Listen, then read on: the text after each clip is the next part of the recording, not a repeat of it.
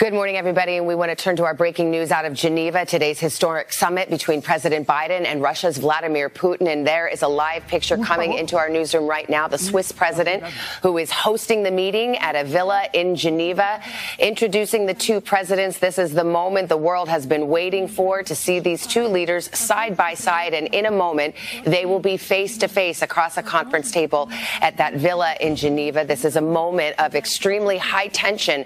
Both leaders saying the U.S. Russian relationship is at a low point and setting very low expectations for what could be achieved, but the stakes are very high. NBC's Lester Holt in Geneva for us. Lester, good morning to you. Savannah, good morning. Uh, things appear to be on time right now. The Swiss president delivering uh, remarks, kind of welcome remarks in French uh, before. We'll let you hear a little bit of it you to Geneva, the city of peace. It is an honor and a pleasure for Switzerland to host you here for this summit, and in accordance with its tradition of good offices, promote dialogue and mutual understanding. I wish you both presidents a fruitful dialogue in the interest of your two countries and the world. Best wishes and goodbye.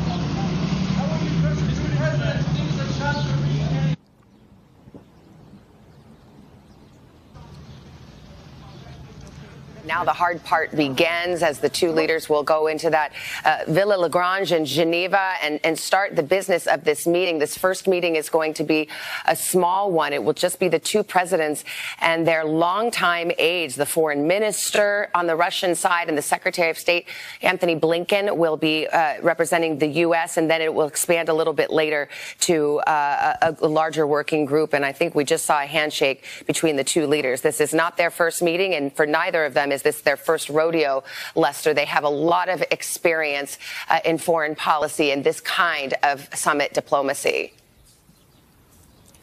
Yeah, President Biden met with uh, President Putin back uh, in uh, uh 2011 when he was vice president. So they have you know, some relationship. There have been phone calls that have been exchanged uh, uh, since uh, uh President Biden took office.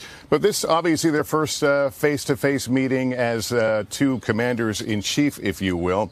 We can tell you there were questions that were shouted at uh, at President Putin as he went in. Can you reach an agreement? What do you hope to accomplish? Do you trust President Biden?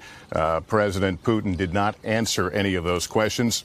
And as uh, we anticipated after the welcome remarks, there were to be no uh, no comments from either leader. They'll now go inside, as you mentioned. They'll be with their chief diplomats, respectively.